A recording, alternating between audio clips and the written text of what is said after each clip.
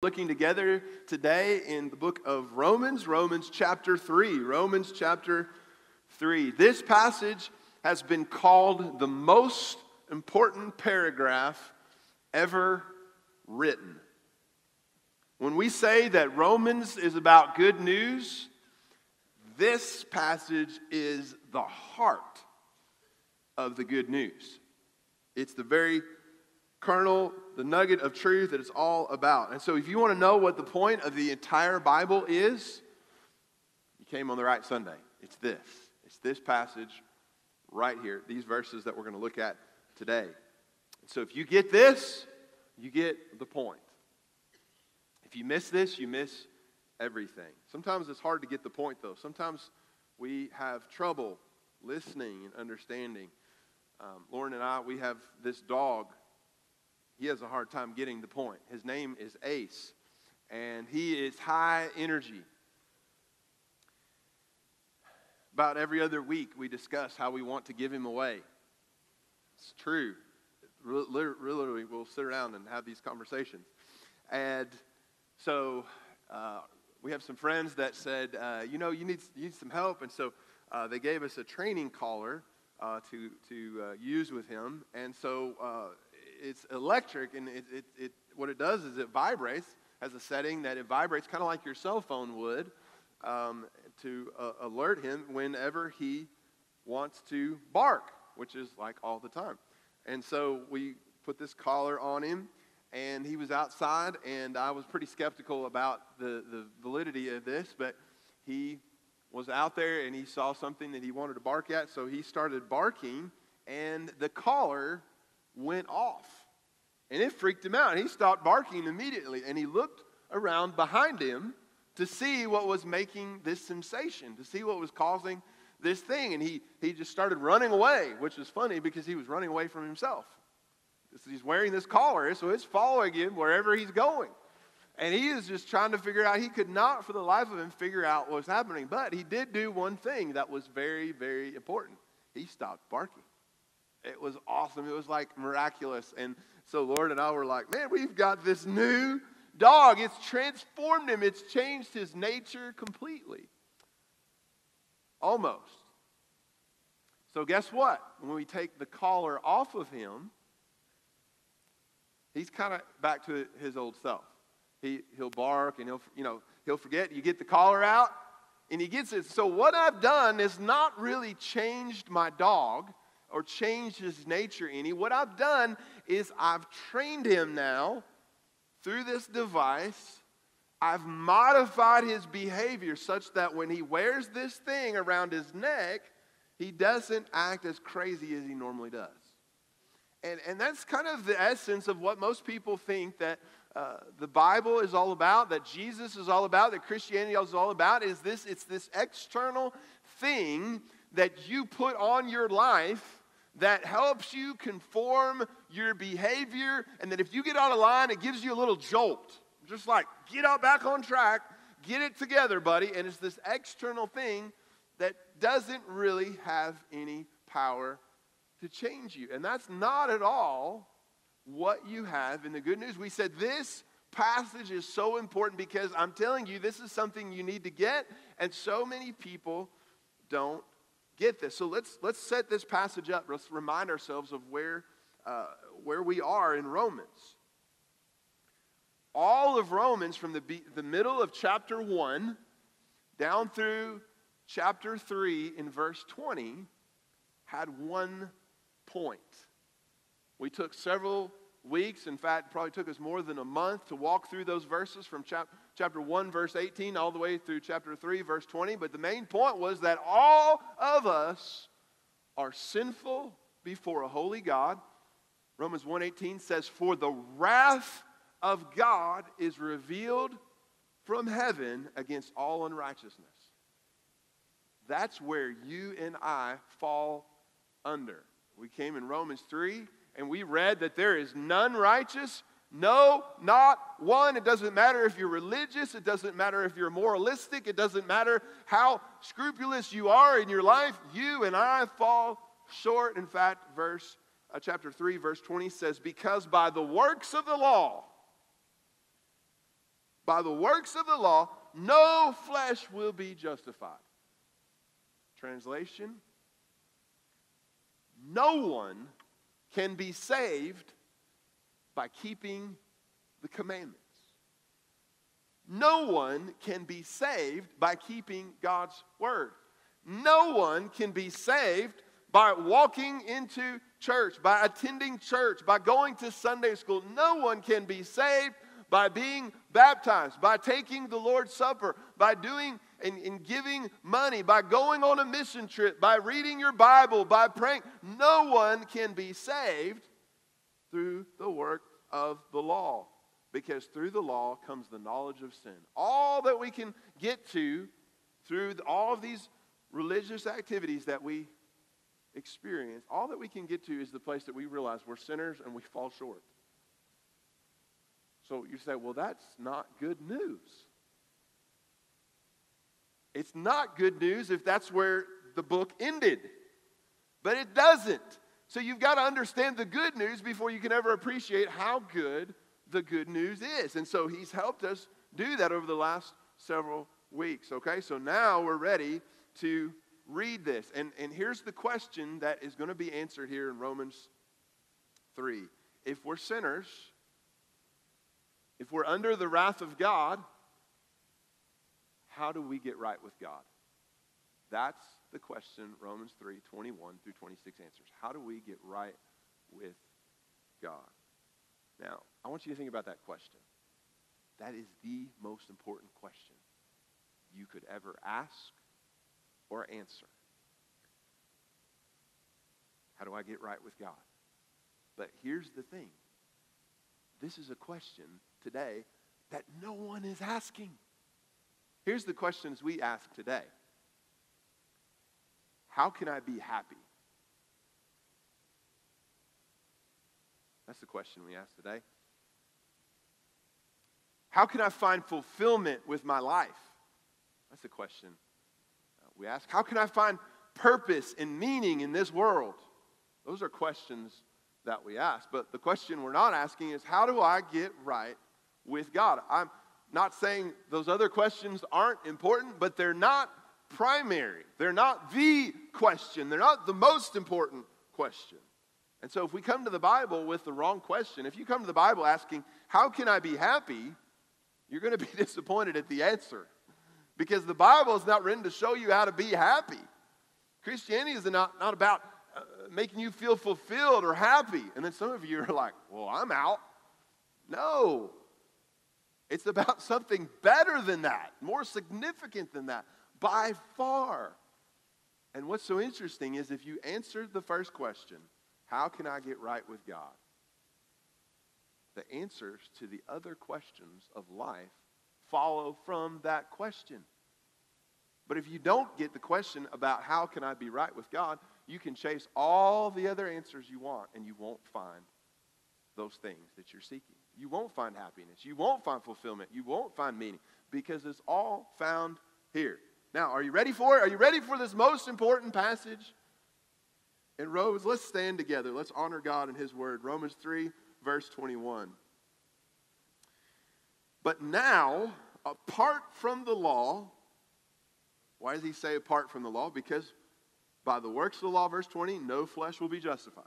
So, but now, apart from the law, the righteousness of God has been manifested, being witnessed by the law and the prophets, even the righteousness of God through faith in Jesus Christ for all those who believe. For there is no distinction. For all have sinned and fall short of the glory of God, being justified as a gift by his grace through the redemption which is in Christ Jesus, whom God displayed publicly as a propitiation in his blood through faith. This was to demonstrate his righteousness, because in the forbearance of God, he passed over the sins previously committed for the demonstration, I say, of his righteousness at the present time, so that he would be just and the justifier of the one who has faith in Jesus. Where then is boasting? Is excluded.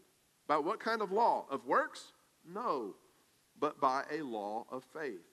For we maintain that a man is justified by faith apart from works of the law. Or is God the God of Jews only? Is he not the God of Gentiles also? Yes, of Gentiles also. Since indeed God, who will justify the circumcised by faith and the uncircumcised through faith, is one, do we then nullify the law through faith? May it never be. On the contrary, we establish the law. Let's pray. Father, in Jesus' name, we just ask today that you would speak to us. You would help us to understand these words, help us to answer this most important question in our hearts and our lives of how we can be right with you. We thank you for your word. We thank you for the gospel. And we pray that you would speak to us today. And we ask this in Jesus' name. Amen.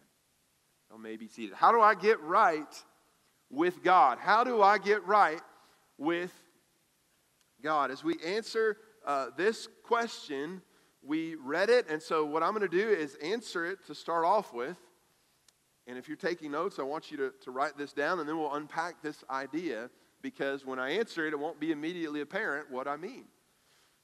So, how do I get right with God? Well, here's how getting right with God comes, getting right with God comes by getting God's righteousness. Getting right with God comes by getting God's righteousness. What on earth does that mean? Well, first, let's unpack that statement. Let's talk about it because this is what Romans 3 21 through 31 is telling us. So, first, getting right with God, understand it, that it requires righteousness. That's where he begins in verse 21. Look at it.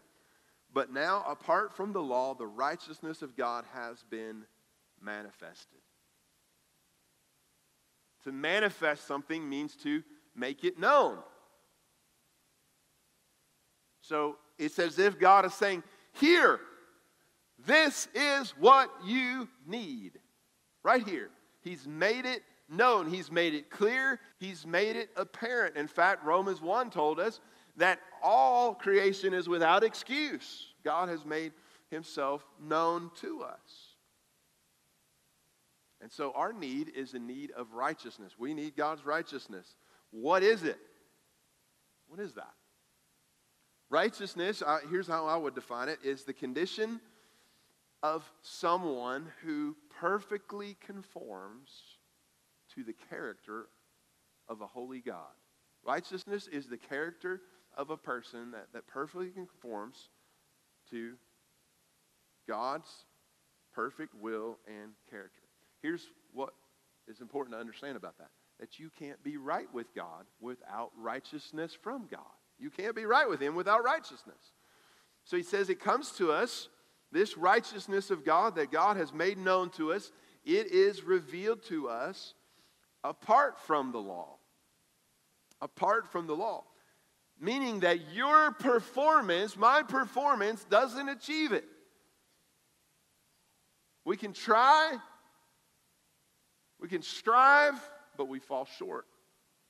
Keeping the law is not the way. But at the same time, look at what he says. Apart from the law, the righteousness of God has been manifested, but he says it was witnessed by the law and the prophets. And so, even though you can't get to God, you can't get righteousness by your performance, by looking at the Bible and saying, I'm going to do that. I'm going to do all that stuff that it says. I'm going to keep all those commandments. I'm going to do that. You can't get righteousness that way.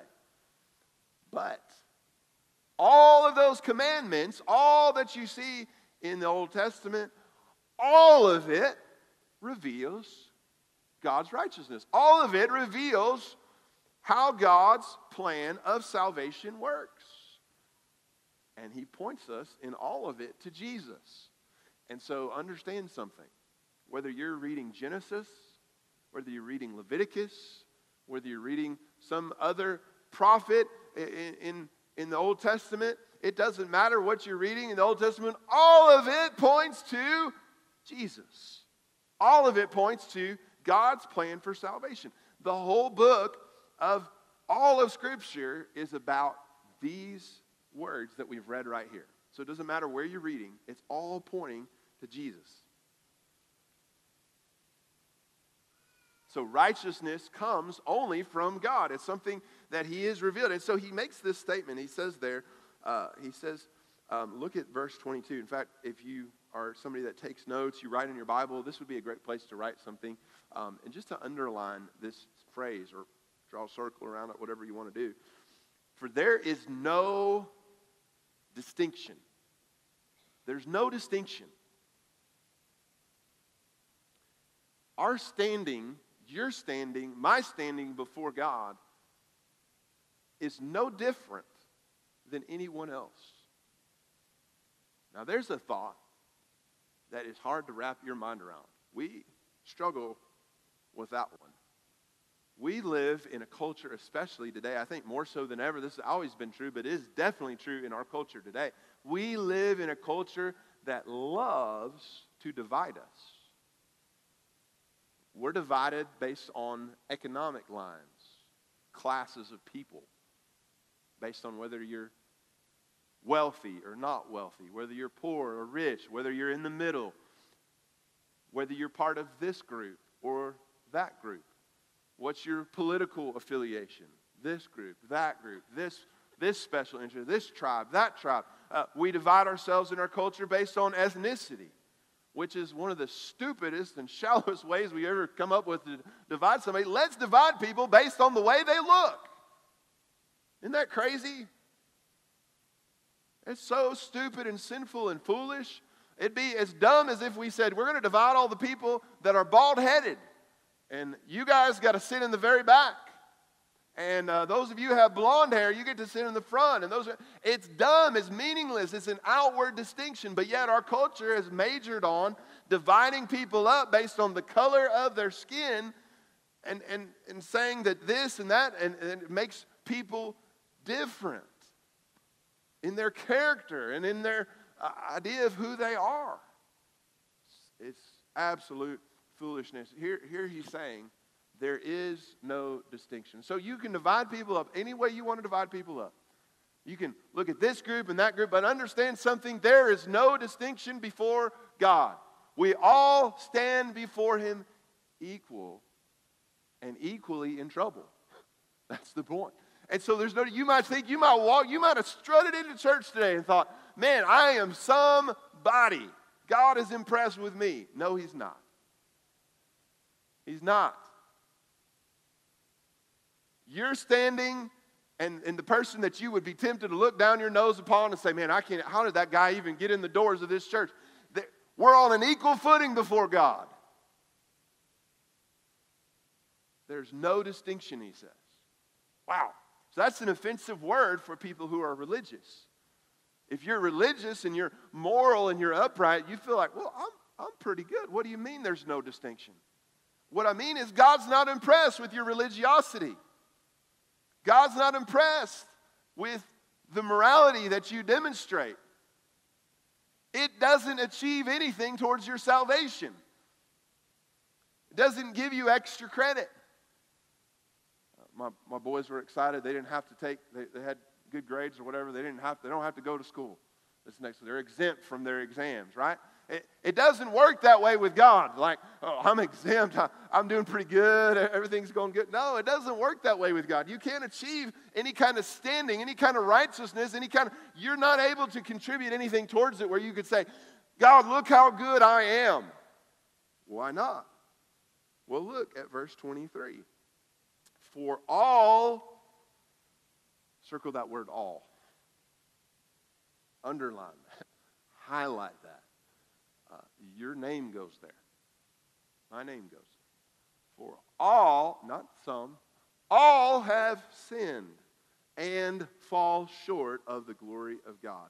The word sin there describes missing the mark. Some of you are hunters, you're marksmen, uh, whether you uh, use a bow or whether you use a gun and you have a target and you aim at that target, you might be a good shot, but here he's saying it doesn't matter how good of a shot you are with those things when it comes to sin, when it comes to righteousness, you and I miss the mark every time.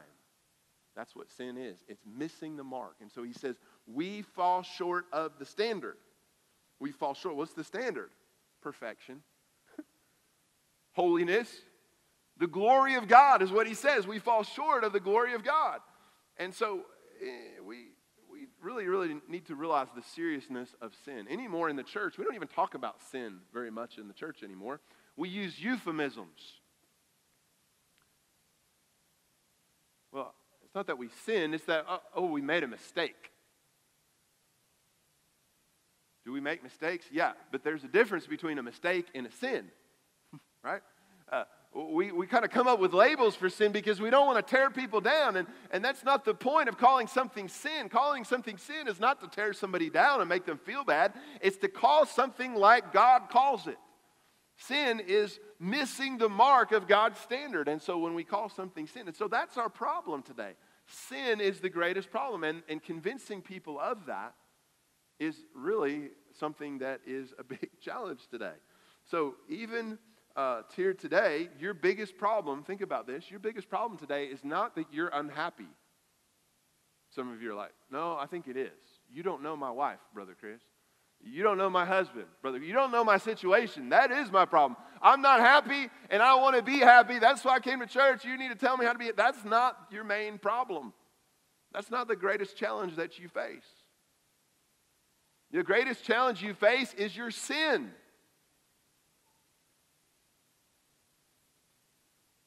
So the Bible is clear. And, and the issue of sin affects us not just in our relationships with others, but it affects us in our relationship with God because we fall short of His glory. And so God is our standard. So what we do, though, is we love to make other people our standard, don't we? We love to compare ourselves to other people, right? So if you feel convicted about something, you feel like, man, I'm not, I'm not doing so good. I'm, uh, uh you know, you, all you got to do to make yourself feel better is to find somebody else that's, that's worse off than you are and they go, oh, well, I'm struggling, but at least I'm not like that guy right there. Woo! Right? And you can always find somebody. And so we come up with all these things to make ourselves feel righteous, right? So it's all these things that are really a covering because none of those things matter. Remember, there's no distinction.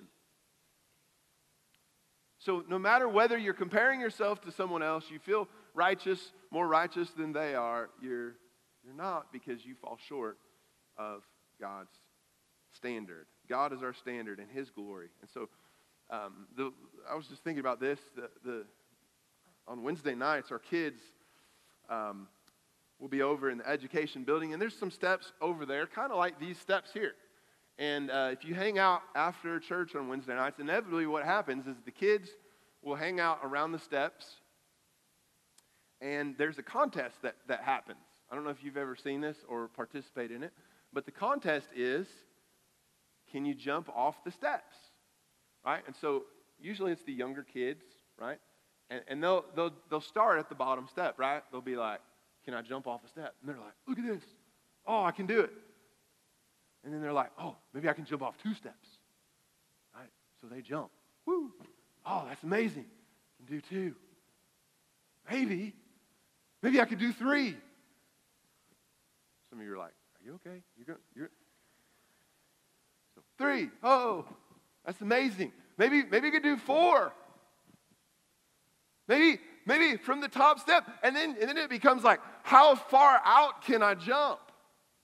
How far do y'all think I can jump? Front row?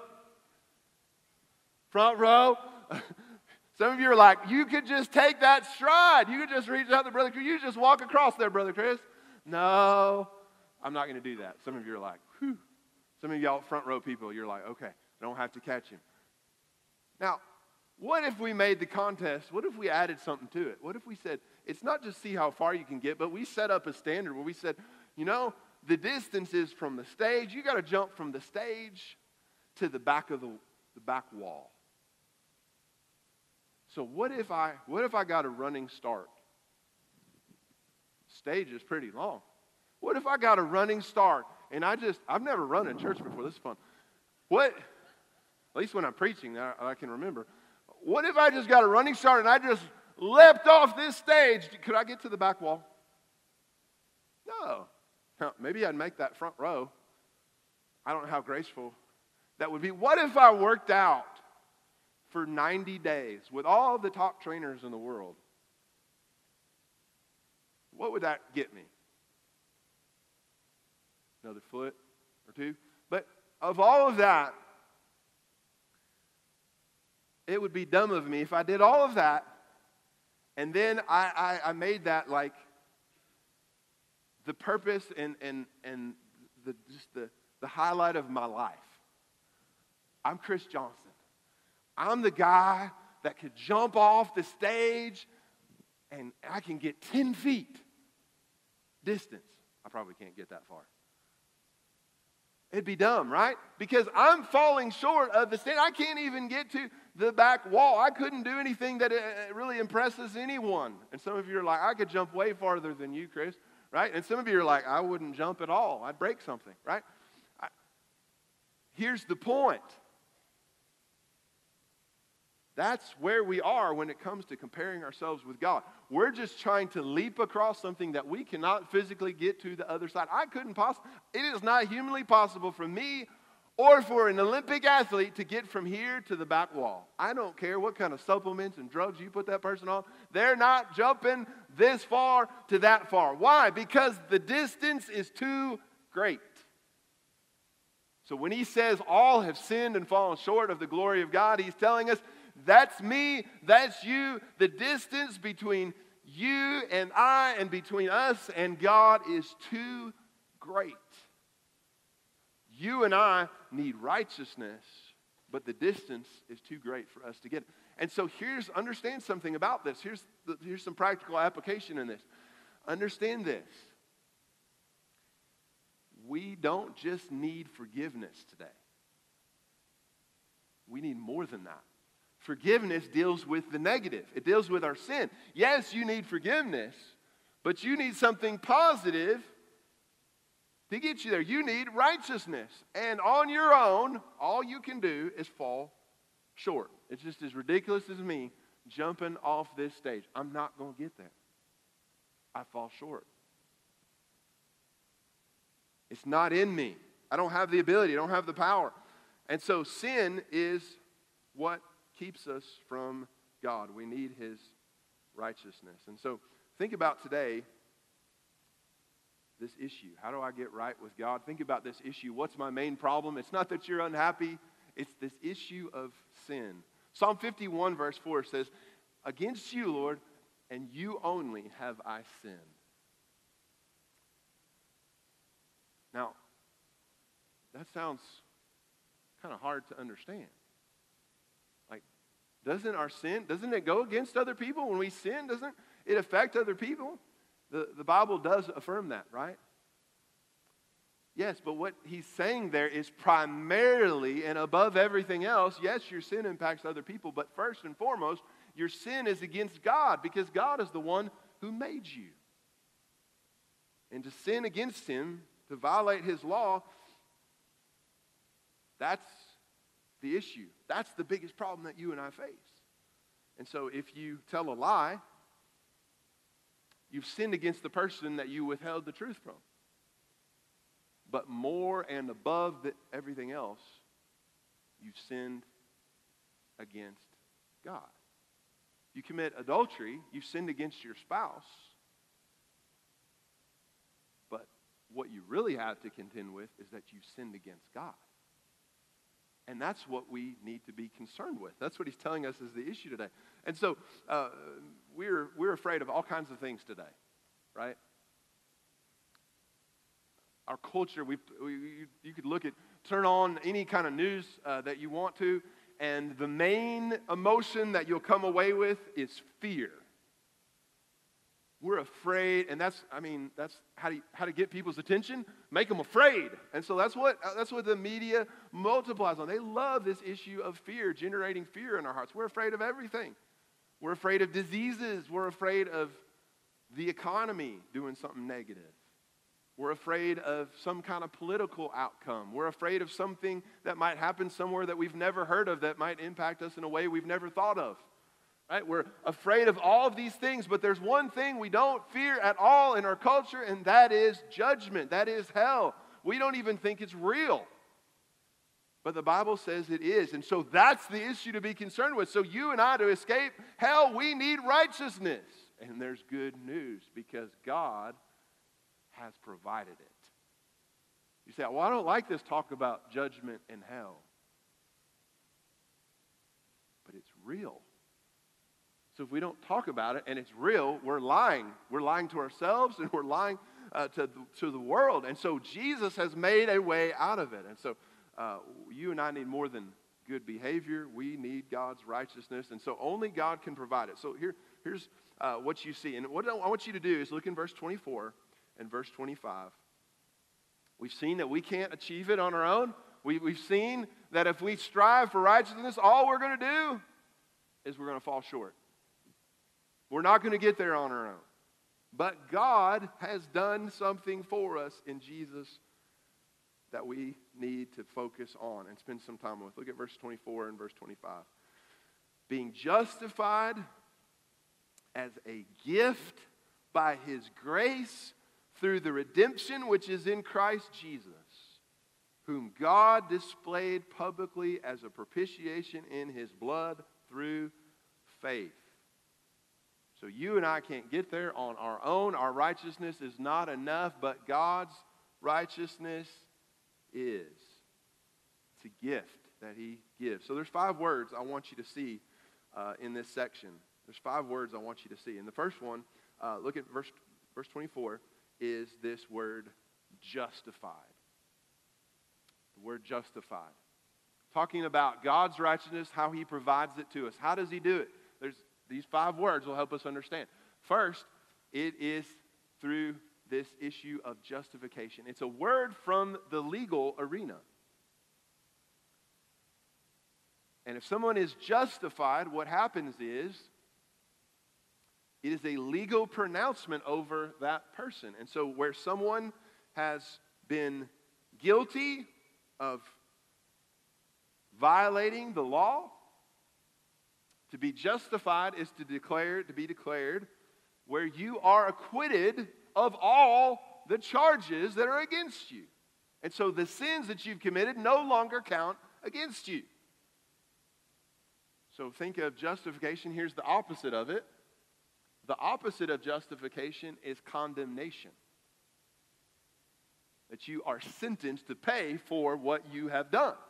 And so to be justified is to be released from the penalty of sin by that pronouncement of that fact that you are justified. It's a new status that's bestowed on you. And so you enjoy it in the moment that it is pronounced. So he says here, God's righteousness comes to us through this process of being justified. God makes a declaration about your life that you are no longer guilty that you are no longer under the penalty of sin, that you're no longer under Romans 1:18, the wrath of God. Some of y'all That's as good as it gets.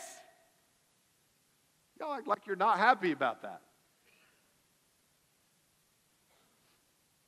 That's good stuff. Secondly, it's a gift. It just gets better. I mean, it just gets better. So we're justified. Then he says it's a gift that God, we're justified as a gift by his grace. So, so something about a gift. It's not earned. You can't earn a gift. Otherwise, it's a wage, right? A gift is unearned, it's undeserved, but it's given to you anyways.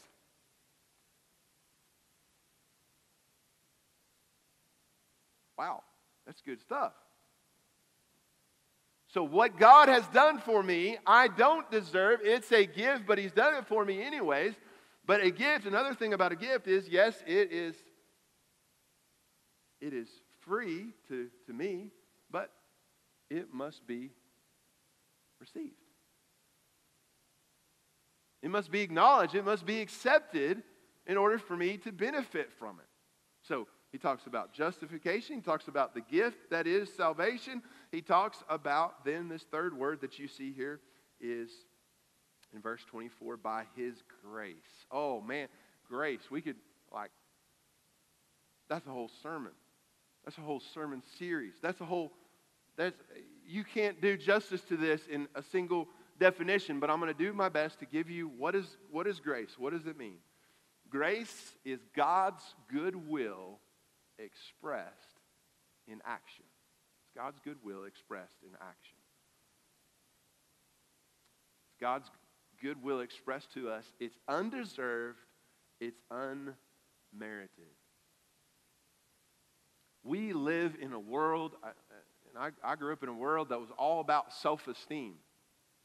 It was all about making you feel good about yourself. Some of you are like, Chris, you didn't, that didn't impact you very much, did it? Because all day today you've been telling me how bad I am. You've been telling me that I'm a sinner, that I'm under God's wrath. Like that self esteem really didn't do much for you, did it? Well, here's the thing about self esteem. Here's why it's so, so misguided is because it doesn't deal with the real issue of our life. It just deals with how you feel about yourself. So, yes, there's some wonderful things about you, but not everything. And so he tells us here that, that God's salvation comes to us by grace. And so that flies in the face of the entitlement that we live in. We have this entitled mindset that it's expressed in two ways. One is we say about everything, we say, oh, I deserve that. Right? Something good happens or we want something good, we're like, this is what I deserve. We're saying, I've earned it. Or the other side of it is if something bad happens to us, here's what we say. We say, Whoa, whoa, whoa. What did I do to deserve this? Or we'll say just flat out, I don't deserve this. I deserve better than this. Here's what we don't understand in our world today we don't understand the word grace. We don't. We don't understand the concept of God's grace. God's grace teaches us that we don't deserve anything. If you got what you deserved, if I got what I deserved, whoo, you don't want that. For the wrath of God is revealed from heaven against all unrighteousness of men. If you got what you deserved, if I got what I deserved, I'd be a crispy critter. Grace is what we do not deserve. And so anything good, anything positive in our life is the grace of God being expressed. If you're breathing right now, which maybe for some of you that's an open question, like is that guy over there, is he, is he passed out? But if you're breathing right now, guess what that is? That's God's grace. If you ate a meal sometime in the last week, guess what that is? That's God's grace. If you're able to physically move and get into this room and hear a sermon and get into this place and get around God's people, that's God's grace. There are so many blessings that we just say, man, I deserve this. No, we don't. Man, we got to thank God. And most of all, what we deserve least of all is what God has done for us in Jesus. That's God's grace. So he's given us something that we don't deserve at all, but he's so good and he's so loving that he has done that for us. He's made a way for us to be, look at what he says, the fourth word, redemption, to be redeemed. This was a word that was used to describe where if someone was a slave, you could be purchased out of slavery and delivered from the bondage and set free with the payment of a price.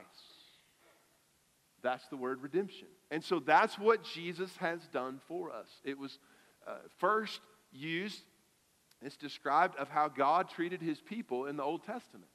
He redeemed them. They were slaves in Egypt. Pharaoh had them under his thumb. They were doing only what Pharaoh wanted them to do building his cities, working and slaving for him. and God stepped in and redeemed his people. He brought them out of slavery and he brought them into the promised land. He set them free. There was a price that was paid. The people were delivered. Redemption brought them into the promised land. Redemption, that's the word. There's a fifth word here, and it's the word propitiation. And I want you to understand this word. You might be, you might be thinking, I can't even pronounce it. How, how, why do you want me to understand this word propitiation? I'm never going to use it, but I want you to understand what Jesus did for you. So look at it.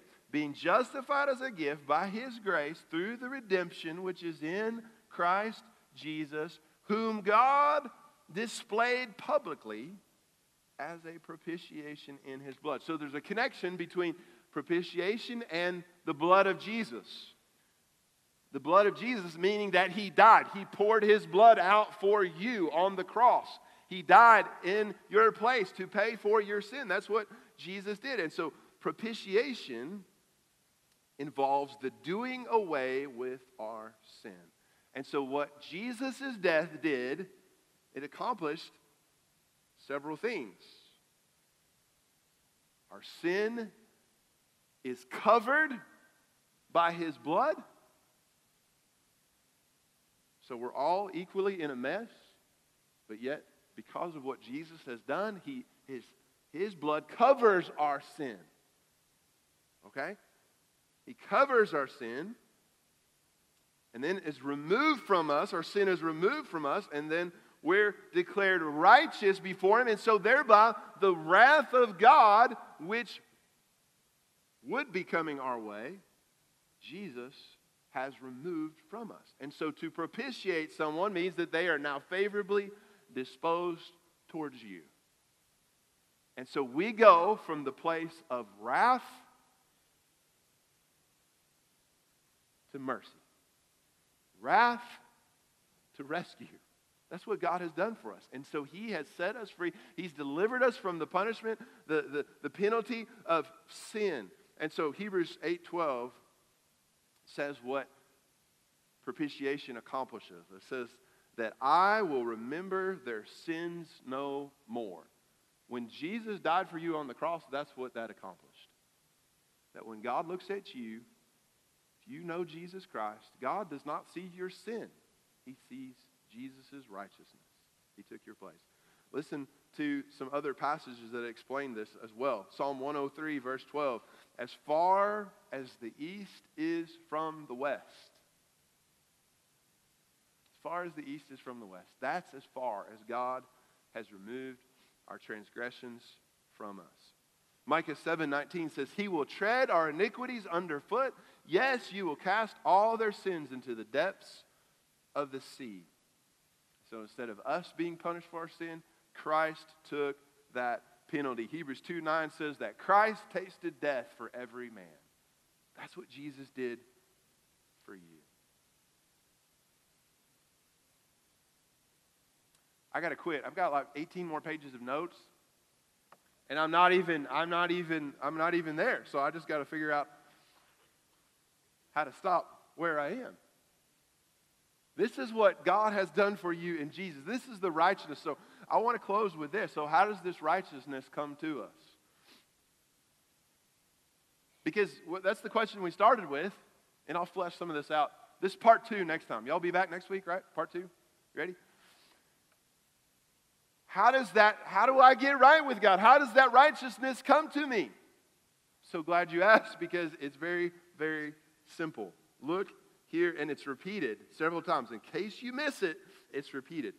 So, verse 22 the righteousness of God through faith in Jesus Christ for all who believe. Look at verse 25. Whom God displayed publicly as a propitiation in his blood through faith. Verse 26. So that God would be just and the justifier of the one who has faith in Jesus Christ. So God's righteousness comes to us by faith. So, how do I get right with God? By coming to Jesus Christ, by receiving Him into your life. Some of you, I know you've done that. That's why you're here. That's why you're gathering here with this body of Christ today. You're saying, I've done that a long time ago. I know that I'm in Christ, and we have a lot to celebrate. I'll unpack more what that means for you as a believer. But some of you here today, there's never been a point in your life where that's clicked for you, where you've realized that your sin has separated you from God and you need His righteousness. And so today, I want to give you the opportunity right now, this morning, to trust Jesus Christ, to give your life to Him, to do what we just read about by faith to put your faith and your trust in Him and what He's done. Some of you need to do that. I want to give you the opportunity. I'm going to ask right now that everyone just bow your head with me. Close your eyes and don't worry about what somebody else is doing. But right now, if that's you, you need this righteousness. You need to get right with God today. Maybe this is why you're here today, is to hear this message. You didn't know it when you walked in the room. But God is speaking to you right now. You need to give your life to Christ. I want to invite you just to do something simple, to take a step of faith. I'm going to pray a simple prayer whereby you could respond by faith and trust Jesus Christ. And so if that's you, I'm going to pray out loud. You just pray silently in your heart, expressing your faith in Jesus Christ, your trust in what he's done for you. Would you, would you pray with me? This is, this is your prayer today. Just pray something like this Dear God, I confess today that I'm a sinner. Confess that I've fallen short of your glory. But God, today, I put all my faith in what Jesus did for me. Thank you that he died on the cross for me. Thank you that he rose from the dead for me. And God, I confess that Jesus is Lord. God, I ask that you'd help me to live the rest of my life for you. Thank you today for saving me. Thank you for coming into my heart, coming into my life. I want to ask right now if you prayed with me that prayer, you trusted Christ today, you, you came to him by faith, I want to ask that you do something bold. Nobody's looking around right now, but I just want to ask that if you did that, just so I could know, so I could be praying for you, not going to point you out, but if you did that, would you just lift your hand up and say, Pastor, I just want you to know I'm not ashamed.